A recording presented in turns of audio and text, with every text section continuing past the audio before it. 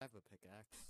May may well, I borrow really it? not much else I can do, so I'm Thank just gonna you. vibe in this place. Oh, uh, hey, if y'all want to help me, I want to replace this this uh, uh, cobblestone axolotl with like copper and whatever else. Can we? Can you help me replace I've got copper. piece by piece? So that way, you ever, you ever say that you're not that you're bored or something in front of your mom, and then your mom's like, "Hey, hey, I'll give you something to do. That's me. Yeah, that's exactly what you've just done. That is exactly what happens.